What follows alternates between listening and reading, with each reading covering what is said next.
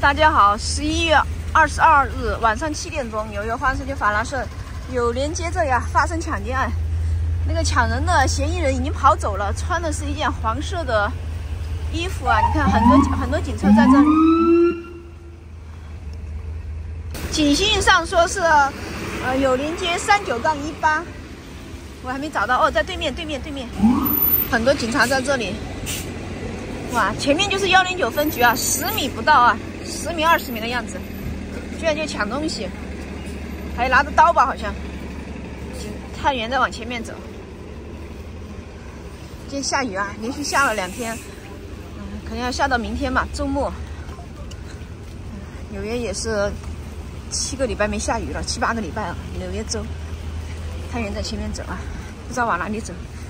现在是走到罗斯福大道和有连接了，我拿着雨伞。赶紧跑过来啊，不知道他们往哪里走。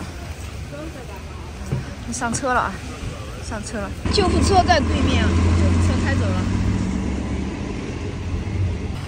雨不算大，还下着小雨。你看前面警车经过的地方，差不多就是幺零九分局了啊。歹徒多么猖狂啊！这两天下雨嘛，阴雨绵绵啊，所以刑事案件特别多。昨天晚上也是有一个持刀杀人的，但是我没拍到。我冒着雨出来，哎呀，没找到。昨天晚上雨太大了，把我的电动自行车都打湿了。啊，我刚才也是走过来的啊，所以你看嘛，下雨就不方便我行动，我单车也踩不了。咱拍个尾巴，就给大家报告一下有这个事情啊。所以雨天路滑，大家注意走路、开车，还要注意保护好自己的个人财产啊。好多人都拿着手机拍啊。哦，有些飞走了。在那个天桥下面那边特别多，哇，好漂亮啊！和平鸽，和平鸽，好壮观了，真壮观。哦，旁边大哥说弄弄了两杯的玉米，那老外哦，嗯是。有专门两个老太太专门专门喂啊。因为冬天来了嘛，这个动物的可吃的虫子就比较少了，对吧？这两天又下雨。一年四季。一年四季一个老太太就送，就送哈啊，还是挺有爱心的。你看那两只灰色的，对呀，老爱用，他老了他没事做，他拿到退休金了，他没地方用啊。对对对，他就那这个还有爱心和耐心哈。对对，中国人比较少。对，风雨无阻。哦，吃完了，你看没了。十一月二十三日早上，今天终于雨停了。现在坐这个华人小巴去唐人街去拍那个发火机，在林则徐广场一点钟开始发，然后他们十一点半就开始发票。先上去占个位置。那小巴马上要开走了，到这个费达西比买个早餐，一会儿在车上吃。哇，早上这么多人呢，就买个面包吧。刚好赶上，你看啊，要不然的话要等半个小时。买了一个面包，三块两毛五吧。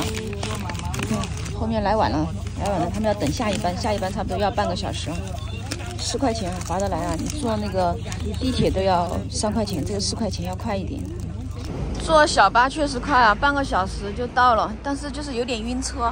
师傅这个车是快准狠啊，非常的迅速就到了唐人街，也没堵车今天。但是因为个人原因啊，坐什么车都要晕啊，所以坐的迷迷糊糊的。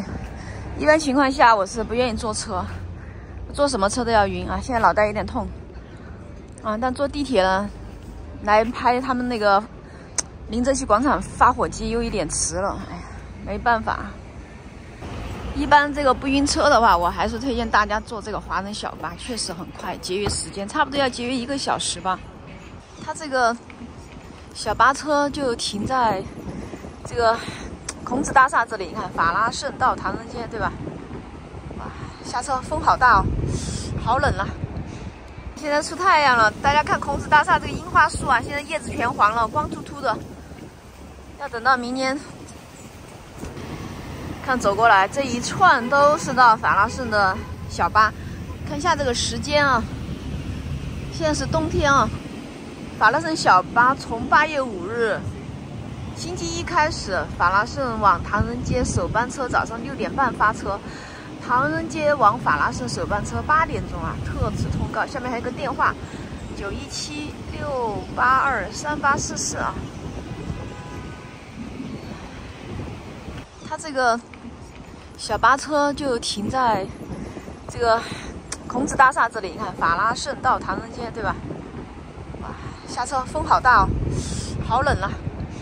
大家看，现在我走到林则徐雕像了，好多人排队哦，差不多有几百人啊。现在开始发票，一会儿要领这个火鸡。好，给大家说一下，住在唐人街附近的朋友们，赶紧过来。十一点到十二点，现在一会儿还要派发领取烧鸡的票，嗯，大家赶紧过来。它是一点钟正式派发火鸡，先到先得，发完为止。今天好像是有六百份的烧鸡，还有饮料，还有小吃零食。今天的晚饭炒个青菜，然后还打了一个外卖啊。青菜就是把油下锅。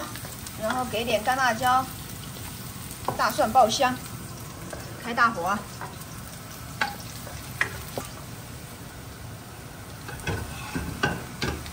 下青菜，哇，呲呲的响啊！这个水都是沥干了的，